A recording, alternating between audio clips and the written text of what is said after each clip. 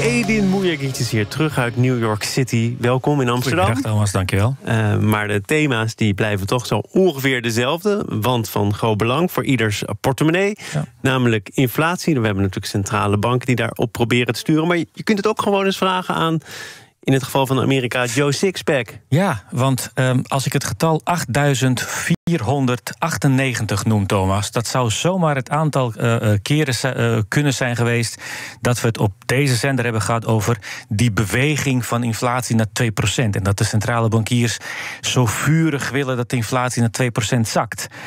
En eigenlijk is het heel vreemd, want het is als het ware een soort linguistisch gedrog, Thomas. Uh, zeggen dat je prijsstabiliteit nastreeft en tegelijkertijd zegt... we, we willen ervoor zorgen dat prijzen elk jaar met 2% stijgen. Uh, dat betekent dus ook als de inflatie een keer uh, onverhoopt 1% bedraagt... dat er dan in paniekmodus wordt gedrukt van... oh jee, we, we moeten daar iets tegen doen. Nou, deze jaren die achter ons liggen, iets verder achter ons liggen... daar was dat natuurlijk eerder de regel dan de uitzondering. Ja, daarom. En ik dacht heel lang, ben ik nou de enige die daar toch moeite over heeft? Uh, hoe ziet de gewone man slash vrouw dat? Nou, er is nu een onderzoek gepubliceerd door vier economen waaronder eentje van de Europese Centrale Bank. Wat hebben ze gedaan? Ze hebben een groot, uh, gedegen wetenschappelijk onderzoek uitgevoerd in Amerika onder Amerikanen. Om erachter te komen, wat is nou de inflatievoorkeur van de gewone Amerikaan? Wat, wat zou die het liefst willen zien? En uh, wat komt daaruit? 0%. Mensen willen gewoon niet dat de prijzen stijgen. En ze willen wel meer loon, denk ik. Uh, ja, ze willen wel meer nou, loon. Als je dat dan de gewone man of vrouw zou vragen. Nee, maar dat, dat, dat mag ook wel. Want kijk, als je te maken hebt met hele lange perioden van technologische vooruitgang. wat we afgelopen 30, 40 jaar hebben gezien. dat betekent dat de productiviteit omhoog gaat. En dan mag je ook reëel, dus na aftrek van inflatie. mag je erop vooruit gaan. Is voor heel veel mensen niet gebeurd de afgelopen decennia. Maar die, die, de gewone Amerikaan zegt dus. Als het aan mij zou liggen, moet de Fed dat hele streven naar 2% inflatie laten zakken. Streef gewoon naar echte prijsstabiliteit, ook in linguïstische zin. 0% inflatie.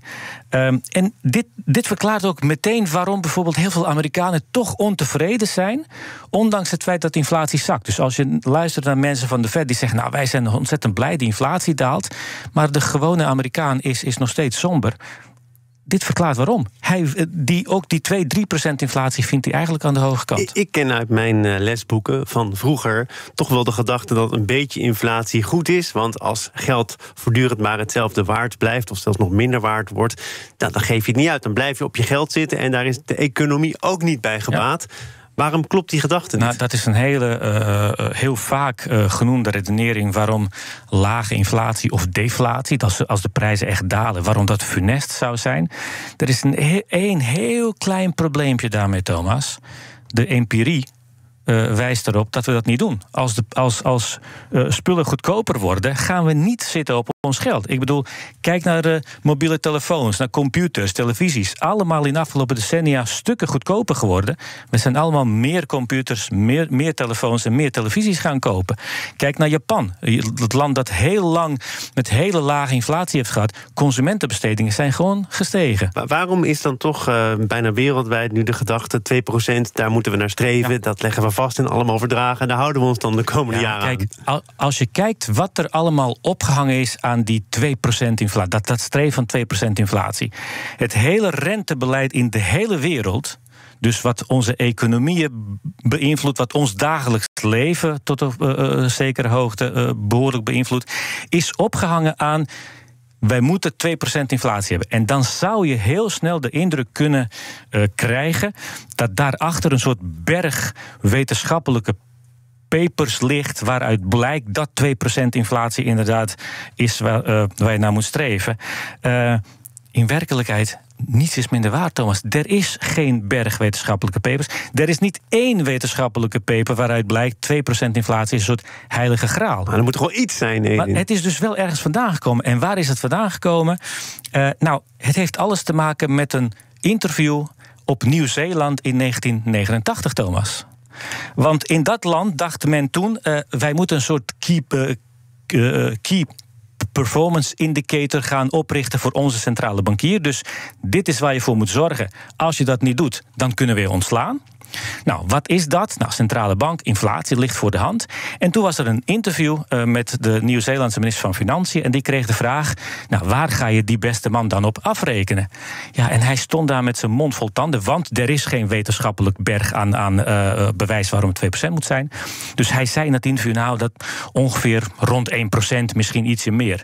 Nou, bij de centrale bank van Nieuw-Zeeland hebben ze daar 2% van gemaakt. Dat was de eerste centrale bank die dus 2% in het leven heeft geroepen. Inflatie is vervolgens gaan zakken op Nieuw-Zeeland. Uh, de conclusie werd heel snel getrokken, zie je wel. Het ligt daaraan, doordat ze die 2% hebben afgesproken. In werkelijkheid is inflatie gaan zakken door technologische vooruitgang en globalisering sinds die tijd. Maar het was de eerste spreekwoordelijke monetaire uh, schaap die over de dam uh, is gegaan. En alle andere centrale bankiers zijn gaan volgen. Want die, die hadden ineens een voorbeeld van: kijk, daar doen ze 2%.